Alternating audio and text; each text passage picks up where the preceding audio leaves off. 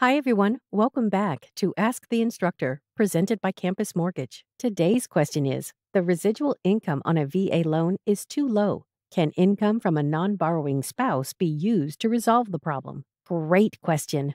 As a senior underwriter, here are my thoughts. If the spouse is willing to provide full income documents, it may be possible to use it to offset short term debt. The income itself does not need to meet standard VA guidelines, but the underwriter must be able to determine a reasonable figure to use it. For example, $800 a month, averaged from a part time job the spouse has worked at for six months, could be used to exclude a $600 car payment with less than 10 months remaining. DTI would be reduced and residual income increased, making approval for the borrower veteran more likely. This concludes our one minute video. As always, don't forget to download our course catalog at campusmortgage.org.